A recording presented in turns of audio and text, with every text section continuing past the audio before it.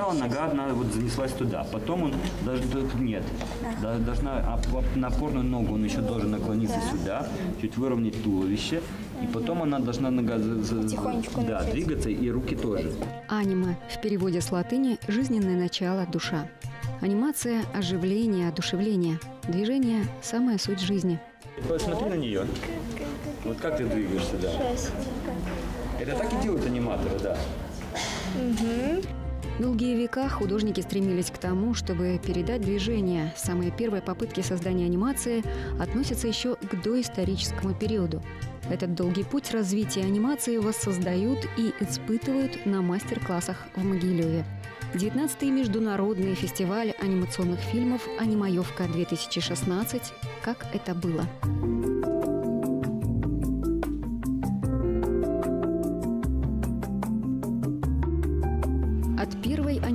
В 1998 году до анимаевки 19 прошла целая эпоха – Аниматоры освоили компьютерные технологии, созданы тысячи новых мультфильмов, выросло целое поколение молодых, дерзких и креативных режиссеров и художников.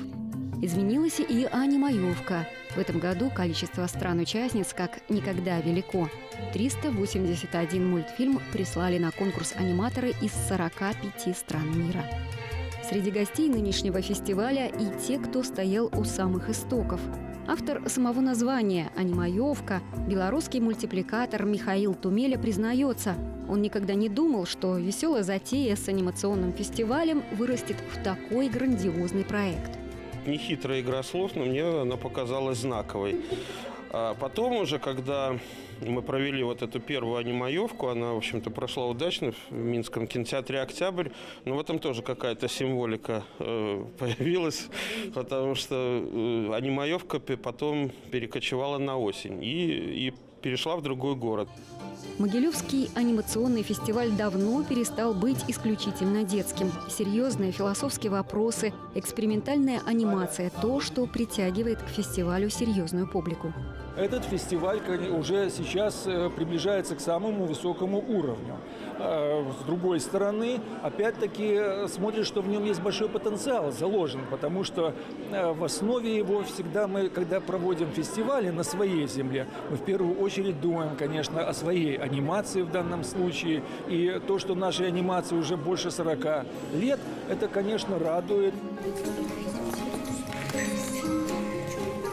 Саша пока делает свой рисунок, вы работаете над своим. Вот вы можете себе представить, там, жарко вам, вашей собаке, вашей кошке, бабушке, дедушке. Я надеюсь, что вот после мастер-класса дети преодолеют барьер такого боязни того, что они могут что-то сделать и э, сделать в анимации. Сегодня э, средства, которые доступны в принципе кажд в каждой семье, там фотоаппарат, там компьютер или э, даже планшет и фотоаппарат позволяют сегодня это сделать. Кукольная анимация стоит особняком. По сути, она очень близка к кинематографу. Живые куклы – натуральные движения. Но тем сложнее передать эту естественность посредством покадровой съемки.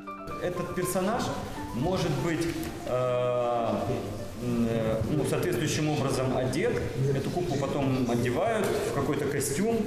Ксюша, что ты рисуешь? О, мороженка. Это как бы, как бы, как бы когда жаркий день, хочется мороженое, оно тает. У меня изображен жаркий день, и как а, людям очень жарко, что они очень устали, ноги уже не держат. Конечно, не все они станут аниматорами или режиссерами. А кто сказал, что это необходимо? Главное, что дают мастер-классы – смелость начать, разрешить себе быть творцом. Что нужно, чтобы стать аниматором? А, я считаю, нужно желание. И то есть, если захотеть чего-то, то можно добиться всего. И если даже не умеешь рисовать, то это не проблема, потому что всему можно научиться. Пока в кинотеатре «Космос» участники Могилевской студии анимации «Карандаш» учатся снимать кукольную анимацию, в «Червоной зорце» звучат голоса, знакомые с малых лет.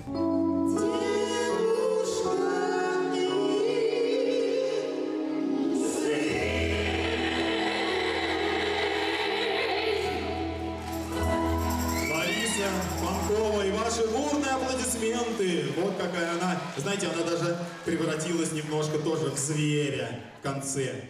Так работают с детьми Панковы. Выкладываются, голосов и сил не жалеют. И дети отвечают тем же.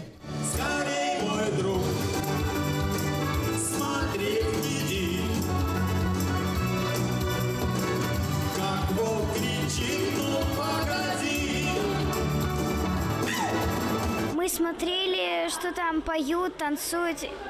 Вы узнали какие-нибудь мультики? Какие там были? Чип и Дейл, Русалочка. Мы вещали и кричали «Ура!». Актеры профессиональные, все было так классно, красиво пели. Твоя реакция? Что, что ты там делала? Топала, хлопала, что? Топала, хлопала, танцевала. Все, то, что они говорили, то я и делала. Детский восторг – лучшая награда для артиста. Панковы признаются, выступать перед детьми и счастье, и огромная ответственность. Ну, вот обычно говорят, с детьми сложнее работать, они там... чуть- Сложнее, А мы да, их да. любим. Многие артисты отказываются, Боятся. когда говорят для детей, э, сердечный приступ бывает. А мы уже лет сколько, 30, наверное. Да, детей-то мы, не, в принципе, даже ненавидим. Мы, это же видно, мы их не любим, мы не любим их ни с солью, ни с красной икрой, ни с апельсинами. Вот, но работаем только для детей. Самые нужные фильмы о добре, о любви, о том, что светит солнце и на нем тает мороженое, а медведь любит мед. Цветные карандаши и мудрый наставник – все, что нужно, чтобы начать делать самые нужные фильмы в мире. Вот если этот круг начнет как-то вот двигаться, ха-ха-ха-ха-ха-ха, да, у него появляется некий образ. Или, например, он вдруг говорит, о, он уже оживает, правильно? Или если он слегка сомнется, то он упрется в стену.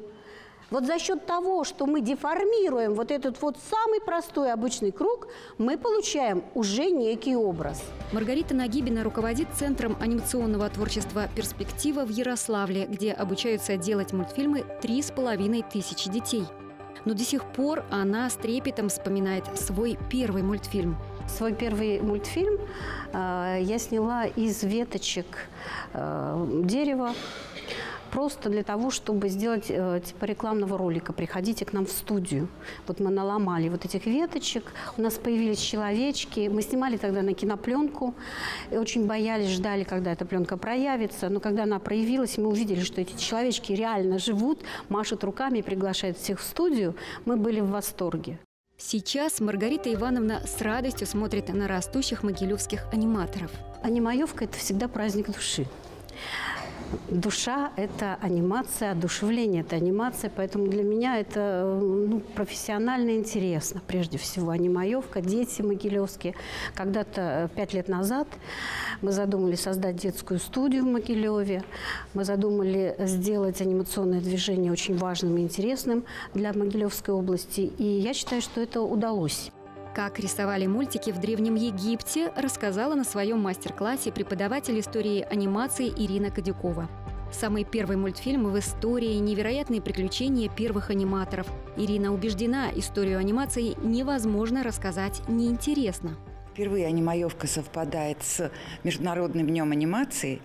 А вот, и поэтому захотелось рассказать о начале анимации, ее истоках. А они вообще, вы даже не представляете, они там еще считаются тысячелетиями до нашей эры. Первые упоминания каких-то таких вот устройствах, которые были, э, как вот зернышки из, из- из него проросли потом в теперешнюю современную анимацию. Поэтому это все очень интересно. Для многих гостей анимаевки фестиваль стал родным детищем. Аниматоры с радостью признают, анимаевка вступила в возраст совершеннолетия и по годам, и по уровню проведения.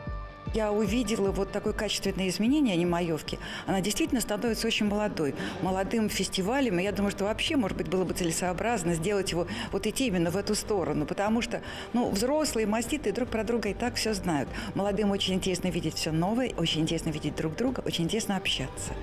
Как показали четыре дня фестиваля, все гости анимаевки, не сговариваясь, переживают за развитие анимационного обучения не только в крупных городах. Мне очень бы хотелось бы, конечно же, еще раз это повторяю, что чтобы в таких центрах, э, а анимаевка этому могла бы способствовать, создавались центры анимации, центрах, я имею в виду, не обязательно столичных, а вот э, таких областных центрах, где есть все условия для того, чтобы могли быть созданы э, небольшие производства, которые могли бы м, приноситься из э, Москвы, Питера и в том числе и Минска. Если мы увидим там «Остров сокровищ», мы сразу скажем, это украинская анимация, хотя там вот про пиратов. И, э, то есть почерк, конечно, угадывается. Это, но мы, по крайней мере, кто занимаемся анимацией, мы это видим. А какие черты вот со стороны видятся в белорусской анимации? А, но мне она очень нравится, потому что она очень мягкая, такая плавная и красивая. 69 детских анимационных фильмов попали в финал конкурсного отбора фестиваля. Выделить из них лучшего просто невозможно, говорят жюри. Как можно оценить детское желание творить? Я за то, чтобы давать как можно больше дипломов, просто детей поощрять, пока глаза горят и им хочется делать, нужно, чтобы их труд был замечен и каким-то образом не то, что отмечали, но просто сказали, да, вы молодцы, вы продолжайте, чтобы они к этому не теряли интерес. Не значит, что они будут все аниматорами, но тем не менее общее впечатление, вот то, что их, э, чему их научат педагоги, э, каким-то законам композиции, э, работой с музыкой, ритму и, допустим, просто собранности. Это все полезно, в будущем им пригодится. Награждение победителей – самый важный момент всей анимаевки. Для маститых аниматоров это заслуженное признание, для самых юных – поддержка, жизненно необходимая для каждого начинающего художника. Пусть пока их сюжеты непритязательно, зато главное – глаза горят. Хомяк ходит в зоопарк и в магазин и покупает там пирожок. Но я не ожидал, что я выиграю, но я выиграл, и я рад. Я его делал достаточно долго, примерно два месяца. Что было самое сложное? Самое сложное это было придумать и нарисовать. И на протяжении четырех фестивальных дней и во время торжественного закрытия аниматоры солидарны в одном. Могилев должен идти в направлении, пусть и авансом выданного звания – Центр анимации. В будущем нам, конечно, очень бы хотелось завязать совместную работу по проведению мастер-классов, киношкол, фестивалей. И вот рядом со мной сидит представитель э, Ассоциации деятелей культуры по поддержке талантливой молодежи, директор фестиваля «Золотая рыбка», э, которая активно готова к сотрудничеству по проведению международных э, конкурсов э, в России и Белоруссии. Я думаю, что это будет очень хорошим подспорьем для нашей деятельности. Зная, что Могилев – это центр анимации в Беларуси, мы, конечно, готовы сотрудничать и продолжать эту деятельность дальше. Больше всего радует старожилов фестиваля то, что с каждой анимаевкой все больше работ присылают на конкурс новички.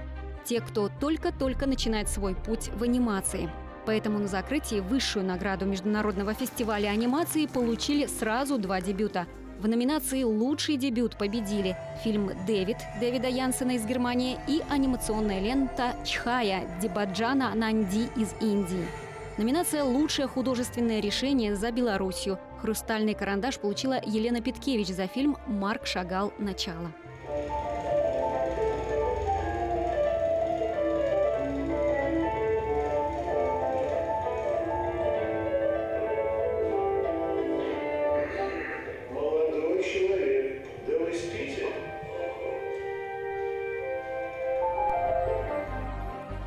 Интрига фестиваля «Кто получит гран-при» сохранилась до самого конца. «Хрустальный карандаш» и диплом в номинации «Лучший фильм фестиваля». Присуждается фильму «Налим Малиныч» из цикла «Гора самоцветов». Режиссер Степан Бирюков.